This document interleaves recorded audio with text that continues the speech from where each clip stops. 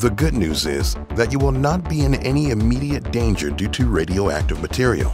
Most of the dangerous material has disappeared from the environment, and it is possible to visit Chernobyl today.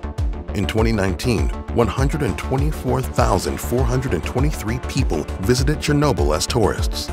Today, the amount of radiation you will be exposed to will be very similar to the radiation levels of a transatlantic flight.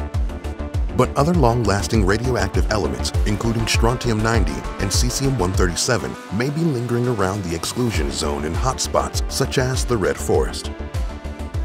Staff will check you for radiation exposure as you enter and exit the region and during the tour at random checkpoints to ensure you are safe.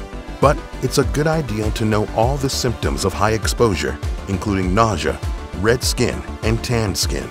If you observe any of these symptoms, get help and leave the area immediately.